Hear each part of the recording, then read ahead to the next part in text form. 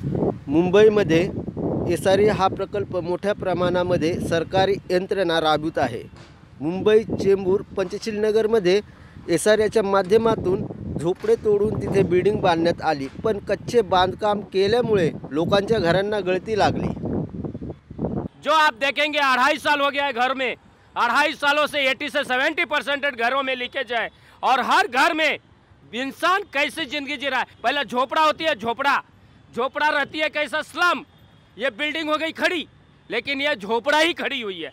ये सारे की इंजीनियर जो है, जो मिलावटी चीज़ को चेक नहीं किया है, और इस तरह से बना के दिया जो अढ़ाई सालों में हर घरों में पानी की लीकेज हो रही है, हर घरों में बाथरूम से लेके कोई भी चीज़ की सुविधा नहीं है। आज आम जनता मर रही है, लेकिन ये सारे अधिकारी इस पर ध्यान क्यों नहीं दे रही है? बेसिक सुविधापासून लोकांना वंचित आठशे सत्तर लोकांपैकी पाचशे साठ लोकांना घर मिळाले आणि तीनशे दहा लोकांना बेघर केले.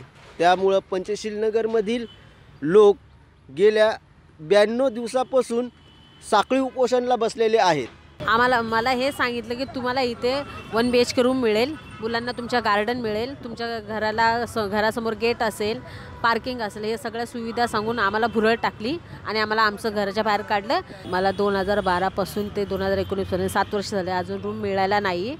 बिल्डरनी मला एक एक वर्षांनी भाडं दिलं आहे मध्ये मध्ये भाडं बंद केलं होतं.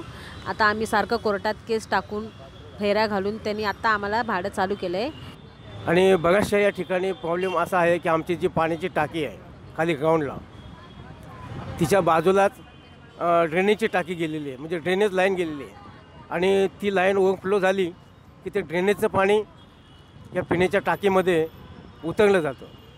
आणि ते पाणी रहिवाशांना किंवा पिण्यासाठी भाग पडावं लागतं. मागण्या काय काय आहे आमच्या मागण्या आम्हाला घराला घर पाहिजे. बौद्धविहार पाहिजे. आमचं बौद्धविहार आहे ते बौद्धविहार आम्हाला पाहिजे. दोन बौद्धविहार होते आमचे. तर त्यांनी काय अजून बौद्धविहार म्हणला नाही भोयराच्या आतमध्ये म्हणला आहे सत्तावीस तारखेला आमचं धरणं आंदोलन होतं येसांगेला. त्या ठिकाणी आम्हाला बच्चू कडू हे जे आमदार आहेत यांच्या माध्यमातून आमचा तो धरणं आंदोलन त्या ठिकाणी यशस्वी झाला.